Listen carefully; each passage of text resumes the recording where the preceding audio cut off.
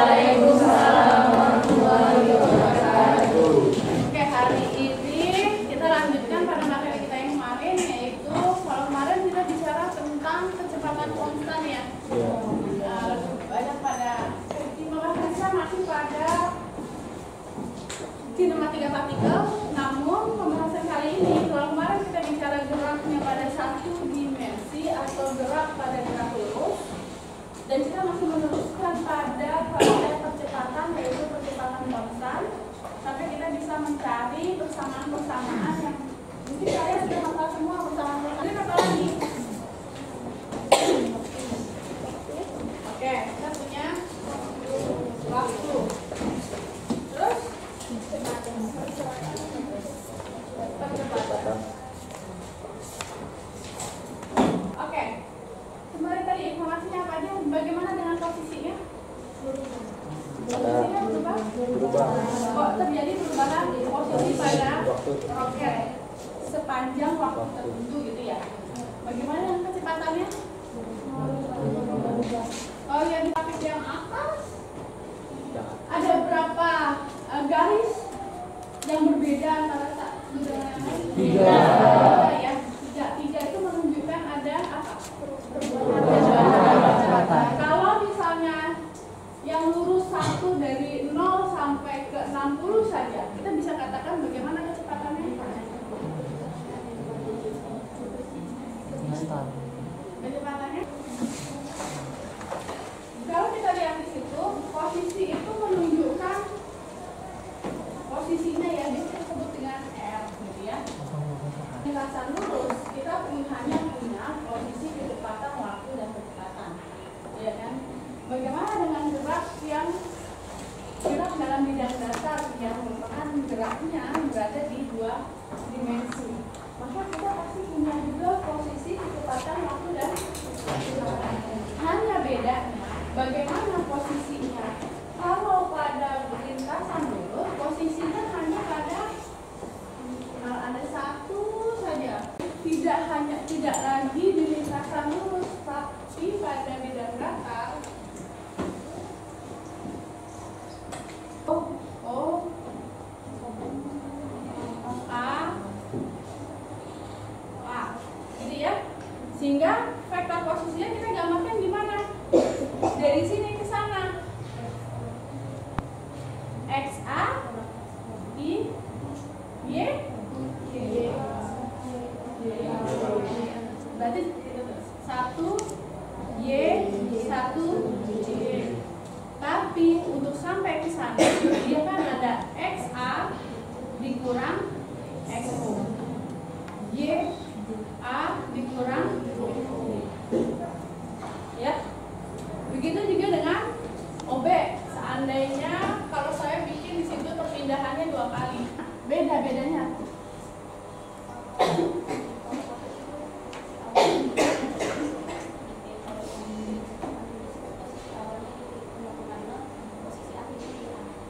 Oke. Posisi awal pada masing-masing perpindahan itu mulai dari 0 ke A. Iya kan? Jadi dia bergerak dari O ke A.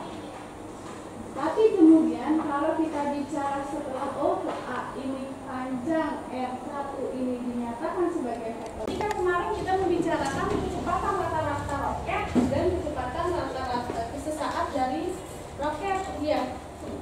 Kalau kemarin kecepatan rata-rata apa? Delta x kalau delta y Kecepatan rata-rata P rata-rata adalah delta x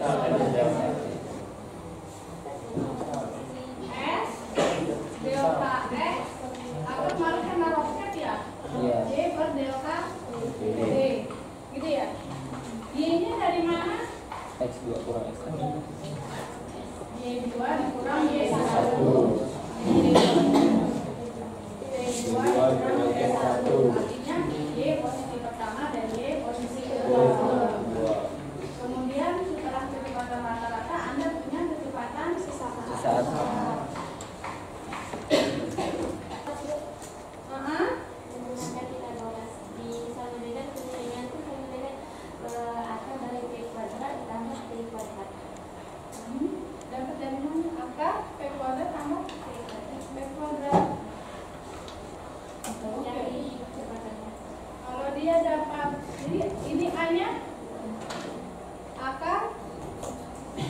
我在上班。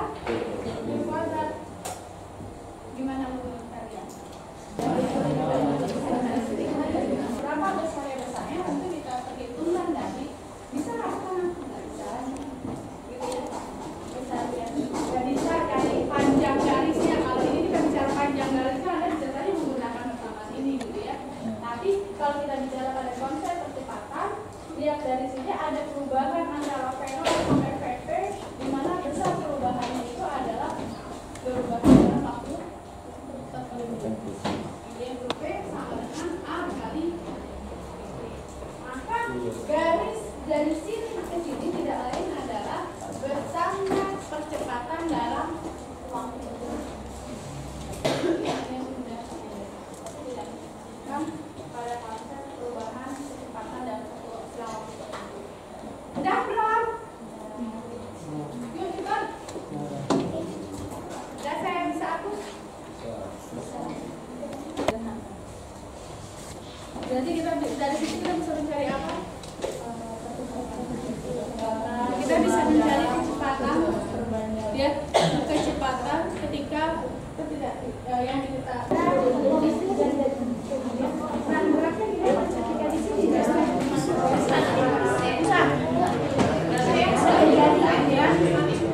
di sini.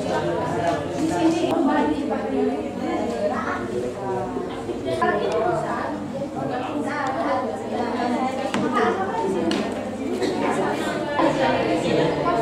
tapi lihat dari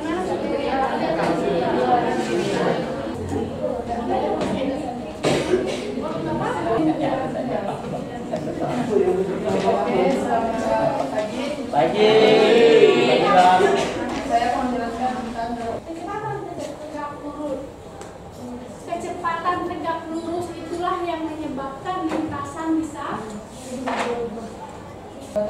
X dan penalaman awalnya adalah triol, jadi eh, bentuk lintasannya adalah seperti ini. Jadi nanti eh, di awal itu eh, kalau di sumbu X ini kan diproyeksikan terhadap sumbu X dan terhadap sumbu X.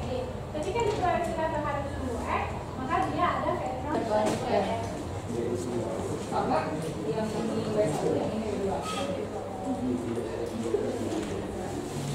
Oke, baik sampai situ.